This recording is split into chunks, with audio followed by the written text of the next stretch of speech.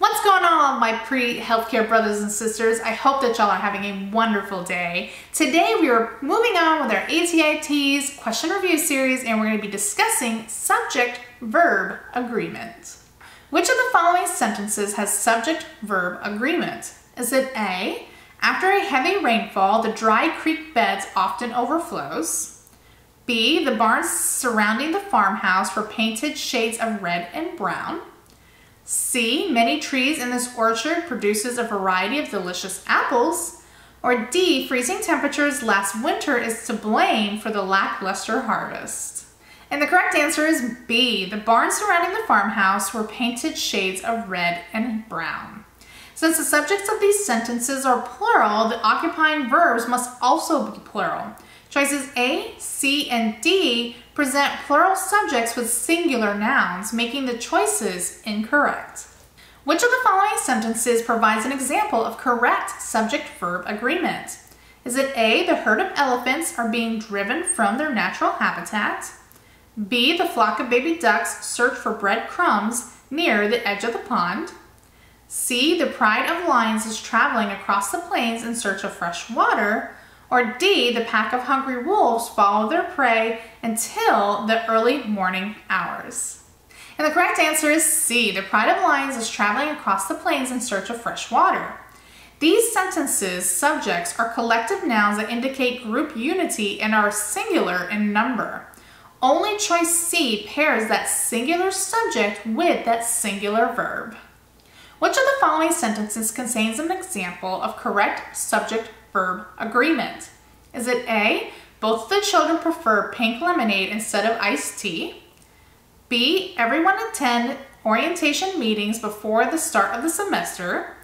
C, somebody mow the grass regularly even though the house is vacant? Or D, all the students enjoys the school trip at the end of the year? And the correct answer is A. Both of the children prefer pink lemonade instead of iced tea. Indefinite pronouns that are singular, such as everyone or somebody, require a singular verb. Indefinite pronouns that are plural, including both or all, need a plural verb.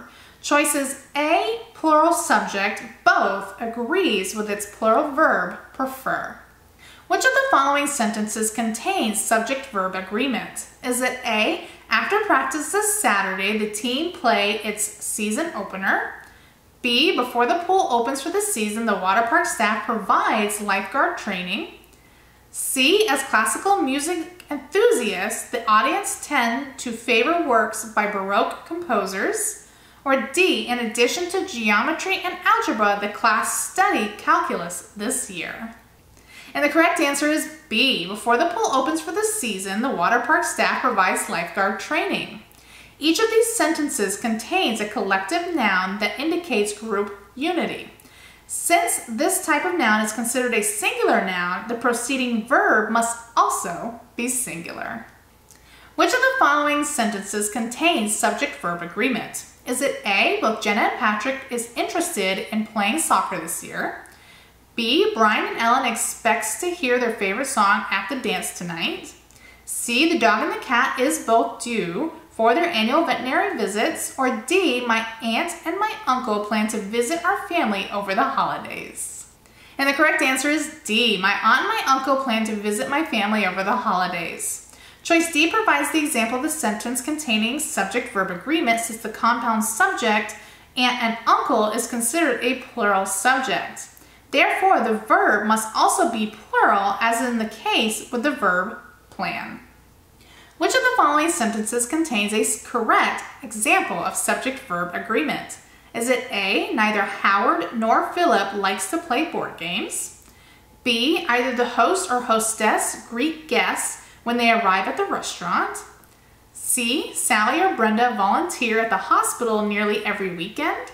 Or D, hiking or jogging provide excellent cardiovascular exercise? And the correct answer is A. Neither Howard nor Philip likes to play board games. Compound subjects with multiple nouns are still considered singular if they are joined with words like or nor. Therefore, choice A is correct because it links a singular subject, Howard, nor Philip, with the singular verb, likes. Which of the following sentences has correct subject-verb agreement? Is it A, topics included in the manual ranges from welding to pipe fitting? B, captains of the ship rotates their time on and off duty? C, dates for each club meeting is posted by the door? Or D, numbers for current program enrollment indicate a high degree of interest? And the correct answer is D, number of current program enrollment indicate a high degree of interest. Choice D contains correct subject-verb agreement since the subject numbers is plural and the verb indicates that it is also plural. The other answer choices present plural subjects with singular verbs and are therefore incorrect.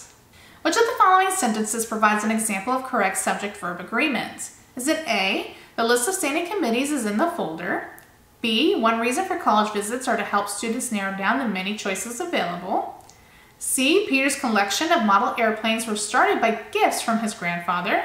Or D. A rare volume of classic folk tales were donated to the library. Which of the following sentences provides an example of correct subject-verb agreement? Is it A. The list of standing committees is in the folder. B. One reason for college visits are to help students narrow down the many choices available. C. Peter's collection of model airplanes were started by gifts from his grandfather.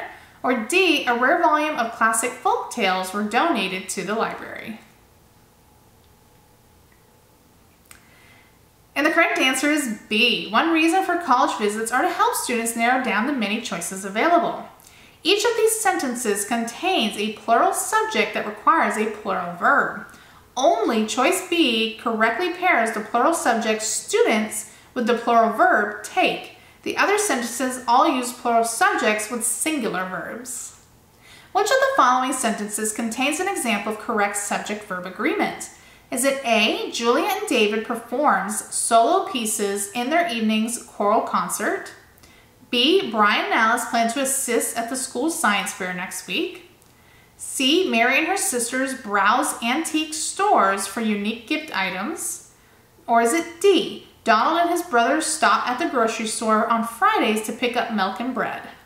And the correct answer is C. Mary and her sisters browse antique stores for unique gift items.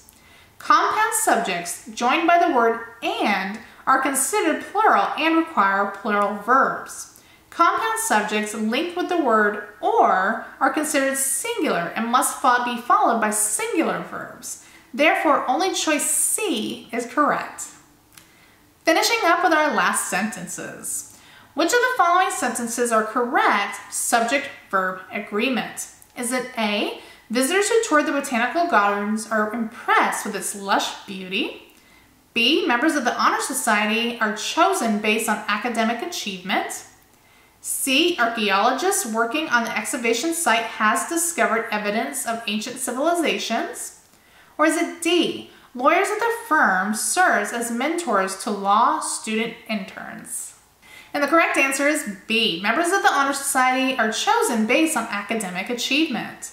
Choice B contains subject-verb agreement since the subject members is plural and the verb are chosen is also plural.